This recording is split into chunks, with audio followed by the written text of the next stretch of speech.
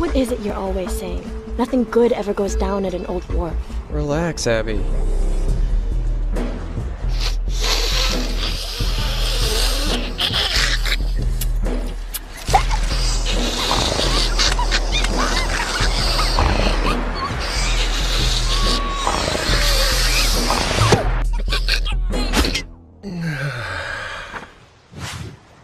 That's our man.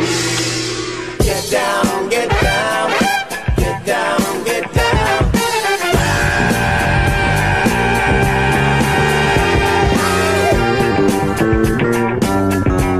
I shoot better on an empty bladder.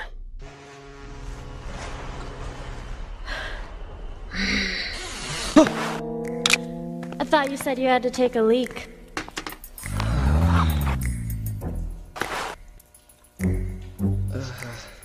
How come I'm always the sidekick?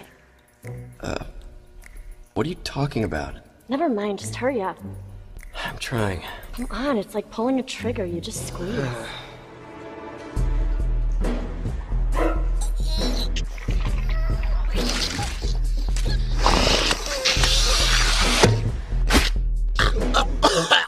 You know, Doyle, girls don't find the tidy whities attractive. Would you just give me some privacy? What? I'm distracting you so you'll relax. I don't find this the least bit relaxing. Well, I think you could tell a lot about a person from their underwear. I'm not gonna wear a banana hammock. Why not? I don't want my crotch entering the room before I do. You don't need to worry about that. Hey! and as I remember, you were the one who said size doesn't matter.